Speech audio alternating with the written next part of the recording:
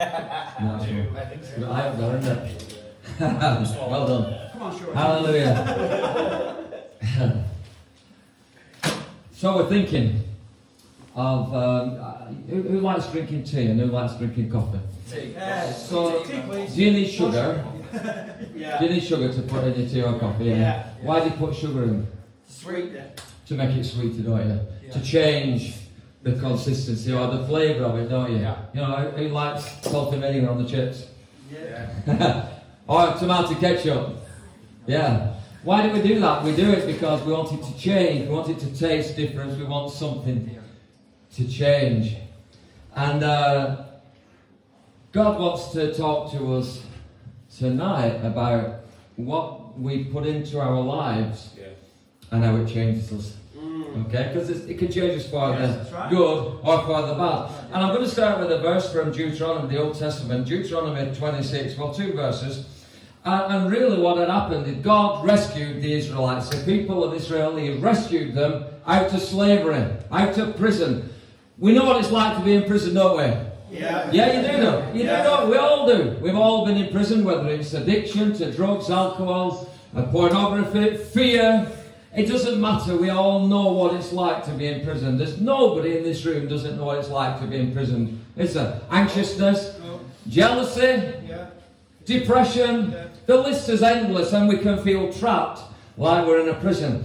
And God uh, recognized that the Israelites they were trapped in the prison of Egypt because they were slaves and they were being beaten and they were being punished. But they cried out to God because many years before God gave them a promise. He said, "I'm going to be your God." And so they called on that promise, God, where are you? And God heard them and he decided to rescue them. So he brought them out. And, uh, and Moses wrote, this, uh, wrote these words down and, and he spoke to them. He said in verse 26 of Deutero- Deuteronomy 11, and Moses was the leader, he said, See, I am setting before you today a blessing and a curse. Yes. Who wants to be blessed? Yeah. Who wants to be cursed? No. None of us want to be cursed. But we can curse ourselves. Yes. And we can bless ourselves by how we let this thing affect us and rule us. So he said, I'm setting before you a blessing. And verse 27 is this The blessing is if you obey the commands of the Lord your God that I am giving you today. So that's the blessing, okay? So I don't know about you, but if you want to be blessed, and the Israelite people wanted to be blessed, the way they'd be blessed is to obey the commands of the Lord their God. Amen. And then he said, uh, but the curse is this. If you disobey the commands of the Lord your God and turn from the way that I command you today by following other gods, by following other ways which you have not known. I wonder, uh, and, and I've never, I've not, I've never been on drugs. I've never really taken drugs other than the painkiller. So I don't know really what it's like, like cocaine and these other drugs, that, you know, heroin, etc. But had you known what cocaine or heroin would have done to you, would you have gone down that road? No. Would you? You wouldn't, would you? I don't think you would. Or alcohol, drinking too much alcohol, or whatever it is that's enslaved you, would you have gone down that road No. if you'd have known the way it could? No. It's a curse. Yes. And it's cursed your life because it stopped you from living and it's trapped you in a prison. And God wants to show us how we can be set free. I don't know about you, but I'm, I'm up for being set free. Amen. So it's kind of like a. Hallelujah. It's kind of like. Um, Get out the jail. yeah. Get out of jail, yeah. Hallelujah. Jesus, we, in fact, we heard last week, didn't we, that Jesus can step inside a room where the doors are locked. Yeah. Yes. that's you remember right. that? That's Jesus great. can step inside a room. So, Mark chapter 7 says this. Now, the, now Jesus has been doing many, many things. So, Jesus is the Son of God, and He came down as God in flesh, God in skin, to show us that God exists. To show us that God cares, to show us that God wants to us to break free from prison. Amen. And doesn't want us to live cursed, but wants us to live a blessed Yes, life. Follow Jesus, Amen. trust in Jesus, enable Jesus to, like sugar sweetens tea, let Jesus sweeten your life. Yeah. Let Jesus sweeten. And, and, and when you do that, you'll be blessed. It's the truth. You'll be blessed. Uh, but so Jesus has been doing many, many of these amazing miracles, and wherever he went, crowds came, and he healed everyone that were brought to him. But the Pharisees, the religious leaders, they had a problem with that. Mm. Well, we don't do that. You're not supposed to do that. And, the, and in, verse, in Mark chapter 7, verse 1, it said, The Pharisees and some of the teachers of the law who had come from Jerusalem, they gathered around Jesus. And they were constantly looking for something to have a go at him, to pull him upon, constantly. And they said, and what they, they saw some of his disciples eating food with the hands without washing them. Ever eaten food without washing your hands? Yeah. Yeah, yeah, we have. Yeah. All of that. Hallelujah. And, and so the Pharisees saw him. They were washed, they were eating food uh, that, uh, with hands that were defiled, and that is, they weren't washed. And it said, and the Pharisees and the Jews, they don't eat unless they give their hands a good washing. And they had, they had this problem. And they were holding this was a tradition of the elders. But when they came from the marketplace, they don't eat unless they wash. They would not eat unless they wash their hands. And, and they saw the disciples eating without washing their hands. And so they were really concerned about this. So in verse 5 it said, The Pharisees said to Jesus, Why don't your disciples live according to the tradition of the elders? Instead of eating their food with dirty hands, why don't they wash their hands? Such was, see, they were trying to, they were clutching at straws, they were desperate to try and stop Jesus. Why did they, why did they eat? Uh, and I love, I love the fact that Jesus, he, he, he goes on, you can read in, in Mark 7, and he has a long conversation with the religious leaders that they're caught in religion. Yes, yeah, that's right. They- They're caught in the laws of man and not God. Yeah. And so it's brilliant is this because in Mark chapter 8, it says, During those days, another large crowd gathered. Since they had nothing to eat, Jesus called his disciples and said, Listen, I've got compassion for these people. They've already been with me three days and they've nothing to eat. Yeah. If I send them home hungry, they will collapse on the way because some of them have come a long distance. His disciples said, Well, where are we going to get enough food for all these people? Where, where, where are we going to do that? All the, the shops are closed, he said. Where are we going to do? How can we feed them? So Jesus said, How many loaves do you have? And, Jesus, and, and they, they said, We've got seven loaves. So he told all the crowd to sit down. Okay, sit down. He took the seven loaves, gave thanks, broke them, and distributed to the disciples who gave them to the crowd. And they did so. They also had some small fish as well. He gave thanks for them also and told the disciples to distribute them. This was the seven loaves and a few fish. Okay? Seven loaves and a few fish. 4,000 people. Do you think they all washed their hands?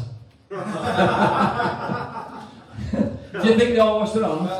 Can you see Jesus? He's like, it's almost like say, watch this. They're not interested in washing their hands, they're interested in food. yeah. Three days they've been with Jesus, nothing to eat. Now, I don't know about you, if I had nothing to eat for three days, I won't be thinking about washing my hands if there were a sandwich there, would you? or a piece of toast. I wouldn't be thinking about that. And I love this, like Jesus said, watch this. God says, just watch this. 4,000 not washed hands, what we're we going to do now? I think it's, it's great that God just speaks, speaks to him. And so uh, it said, verse 11, so there were 4,000 of them. And, uh, and sent them all away. And then verse 11, the Pharisees came and began to question Jesus again. And they asked him, they said, send us a sign from heaven. so 4,000 people have just been fed. Yeah. Yeah. But they didn't wash their hands, so that don't count. send us a sign from heaven. Send us a sign. Come on. So Jesus sighed. For goodness sake. You can imagine Jesus thinking, oh, why does this generation ask for a sign? Yes. Why do they ask for it? Truly I tell you, no sign will be given to it. No sign. Then he left them, got back in the boat, and he crossed to the other side. So now he's going across, uh, and he's in a boat, and in verse 14 of Mark 8 it says, The disciples had forgotten to bring any bread. Probably all the 4,000 people, at most of it. I would think. But they forgot to bring any bread, except for one loaf that they had with them in the boat. And Jesus says this, he said, Be careful, Jesus warned them. Watch out for the yeast of the Pharisees and that of Herod. What is the yeast of the Pharisees? The yeast of the Pharisees is their religious, Yes. their religious thinking, their religious ways, their inability to change or to move. Religion. Yeah. Yeah. Religion. God's not interested in religion, He's interested in relationship. Amen. This is yeah. what God's interested in. I said, watch out for the yeast of the Pharisees. So who knows, when you put yeast in a batch of dough, what does it do? It makes the bread Rise. rise. The yeast makes a difference. Amen? Yeah. The sugar makes a difference. The tomato ketchup makes a difference. Yeah, God amen. wants us to understand that things that we use in life will make a difference. Get your thinking above tomato ketchup, above sugar, above yeast, but higher, to a higher level Yeah. to the anointing of Jesus Christ and the Holy Spirit who is poured out. Jesus said, Is anyone thirsty? Let him come to me and drink. Anybody thirsty? Jesus said, God said, Taste and see that I am God. Taste and see. Taste and see. Unless you'd never dipped your chip in tomato ketchup and tasted it, you'd never know what it would, would like, would Yes, you? I know that's right. It's true. Right. Uh, if you'd never put sugar in your tea, you wouldn't know what it was like. But once you do that, taste and see, and God, it's the same with Christianity, it's the same with walking God with God. Jesus said, I am the way, I am the truth, I am the light. If anyone, anyone comes to me, anybody, anybody, maybe you need to come to Jesus tonight. Watch out for the yeast of the Pharisees. Are you on the blessed road or are you on the cursed road? The cursed road is the yeast of the Pharisees. Notice he linked it with Herod. Herod was a nasty man. He wasn't a nice king, wasn't Herod? He wouldn't think twice about putting people to death. He was angry.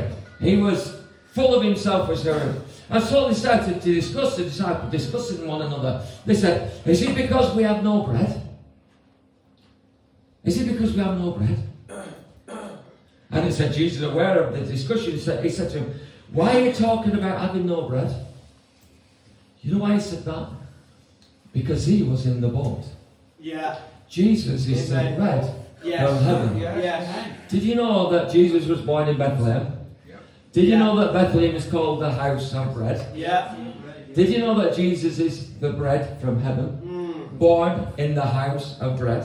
Amen. that the 4,000 people had bread, Jesus is trying to show us something that every single person, no matter how many they are, there are, can have a part of Jesus.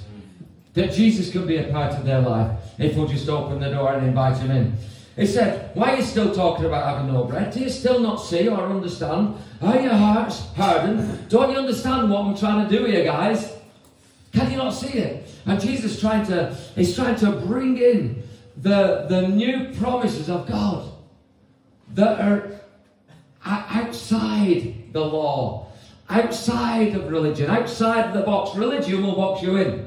Yes. If you want to live in a religious box, Go ahead. carry on. I- Who wants to break out the box? I want to oh, break out the box oh, of religion and into the relationship of God, filled with the Holy Spirit, Hallelujah. trusting in Jesus, Hallelujah. knowing that my sins are forgiven, knowing that the guilt and shame that I carried. Listen, I'm as light as a feather, me.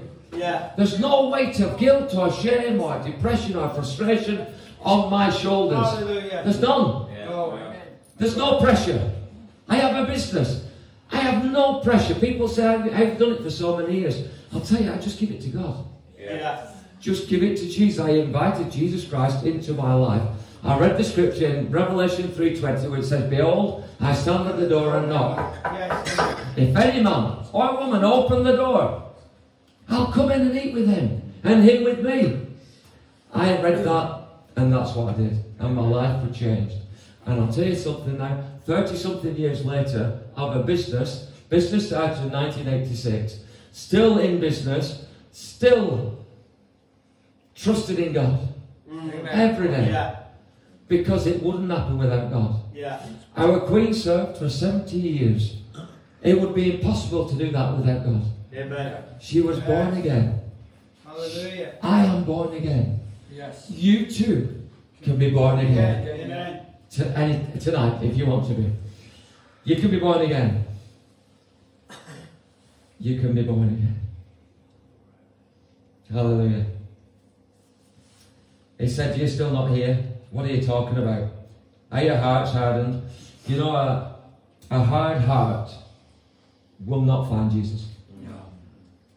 A hard heart, a stubborn attitude, wrong thinking will not lead you to Jesus. You have to lay it all down and you have to say, Lord Jesus, I don't really understand, but I believe in the promises. I believe in the promises. He said, Do you have eyes but fail to see, ears but fail to hear? And don't you remember when I broke the five laws for the 5,000? You see, there were 5,000. Remember, you might think I've got it wrong or the Bible's wrong. He's going to tell us now. Did, did, when I broke the five loaves for the 5,000, how many basketfuls of pieces did you pick up? 12, they said. And when I broke the seven loaves for the 4,000, how many baskets of pieces did you bring up? They answered, Seven. He said, Do you still not understand? What is he saying? What is he saying? He's saying that there's enough bread that has come down from heaven for everybody, Yes. For the whole world, you, for everyone. In Peter's letter, Peter said that God is not slow as we understand slowness. He doesn't want anyone to perish, but everyone to come to the saving knowledge of Jesus Christ. This is our God. And Jesus is showing them by example that, look, do you still not understand? Never mind the yeast of the Pharisees. That'll cause you nothing but trouble. Never mind that. Never mind the walking down the road that leads to curse. Walk around the road that leads to blessing. Blessing, There's a scripture up here that says, John 8 12. Again, Jesus spoke to them, saying, I am the light of the world. Whoever follows me will not walk in darkness, but will have the light of life. You know, if you walk in darkness, you walk in the path of curses. If you walk in light, you're walking on the path of blessing. Amen. And God is the one. God is the one that lays that before us this evening. I wonder, do you want to be blessed? Yeah. Do you want to be blessed? Do you want to be saved? Do you want to be forgiven? Do you want to be set free? And it, listen, we're all going to get it wrong. You'll get it wrong. It might be you could give your life tonight to Jesus and go great for three weeks, and then bang, you can fall. Yeah. But you know what? The thing about Jesus, is? he says, "Come on, the lead's like, take your hand, come back up." Yeah. We- Who knows that's true? Yes. We all know it's true. Anybody who's born again and filled with the Spirit of God who trusts in Jesus knows that's true. But the, the focus of our lives is not to fall, it's to try and avoid fail, falling. But when we fall and when we fail, we know that God can pick us back up. Amen? Yes. I don't know where you are tonight. I don't know if you want picking up, lifting up by the hand of Jesus. I don't know if you want your sins to be forgiven. I don't even know if you want healing. I believe that God will heal, will set free, will transform anybody's life Yes. if you would only believe. Yeah. Hallelujah. If you would only believe. This is what our God wants to do. Hallelujah. He's an amazing God. And then we'll look at this, and I'll finish with this story because this is in Mark 8. In Mark 8, verse 22, he said, after, after this conversation, and they get out of the boat, he said they came to Bethsaida, and some people brought a blind man and begged Jesus to touch him. So he's blind. You know, before you're born again, we're blind. Yeah. We walk in darkness and we can't see. One touch from the King, Amen. one touch, and you'll be able to see. Yes. He said Jesus touched him. Begged him, Jesus, will you please touch him? So Jesus took the blind man by the hand and led him outside the village. He said he spit on the man's eyes and put his hands on him, and Jesus asked him, Do you see anything? He looked up and said, I see people, they look like trees walking around. Once more, Jesus put his hands on the man's eyes, and his eyes were open. His sight was restored, and he saw everything clearly. Jesus sent him home, saying, Don't even go into the village. Don't even go back into the village. Jesus took him by the hand out of the village, Yeah. outside the village. He spit and he put it on the man's eyes, and he, can you see anything? Men looking like trees. For some of us, and our journey with God It's a, it's a slow process. Mm. And sometimes we don't always see clearly. I don't know about you, but I was, I didn't really see really that clearly in the beginning. But as, as I turned my life over to Jesus again, Lord Jesus, I need another touch from you, Jesus. I don't just see that Yes, clearly. yes. And Jesus Right. just gives you another touch right. and opens your eyes and you see clearly. And when you see clearly, it, it causes you to understand. Then Jesus says, Don't go back into the village. Why not go back in the village? Because he was blind in the village. Yeah. Yes. That's right. And, and what the village represents your life, where you are before you find Jesus. I was blind before I met Jesus. I was blind, I was ignorant, I was selfish, I was addicted, I was lost. And God took me by the hand and He led me out of that village of addiction, of blindness, mm. of anger. Anger. Yes, That's right, Peter. Anybody angry? That's right. I used to be so angry. That's right. Anybody get angry? Yeah. Angry. You know, in Galatians chapter 5, it says that Yeah. anger is one of it's a sin, one of the acts of the sinful nature. There's a list in Galatians 5, anger being one of them. Anger.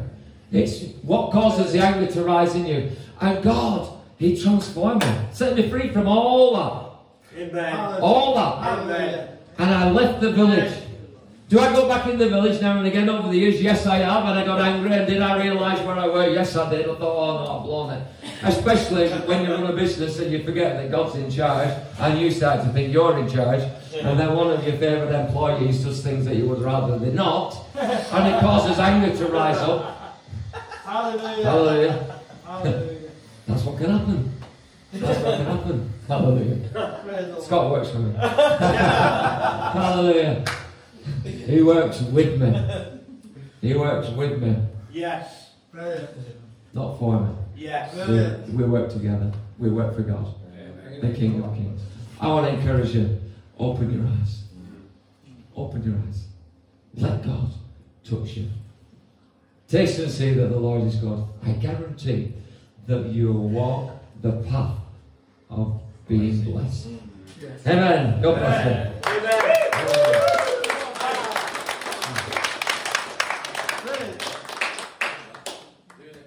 Wow, that's good. We don't need don't need many words because we know that when God speaks, something can happen. You know, the, the, the blessings and curses are in this room here tonight.